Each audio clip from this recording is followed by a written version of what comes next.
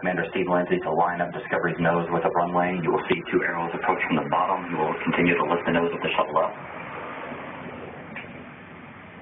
We heard the sonic boom, but too cloudy, fly out to see Should it. be 370 miles an hour. This is Space Shuttle Discovery's final minute of flight.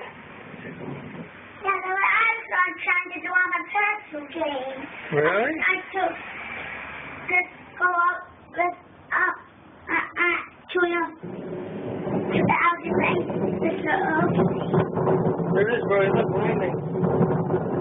Space Shuttle Discovery now on final approach to the Kennedy Space Center. Just more than 30 seconds to go.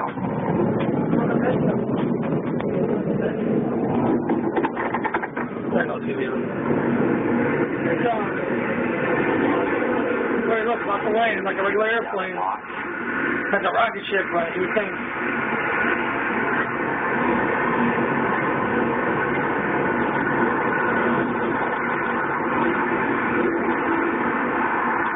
Gear touchdown.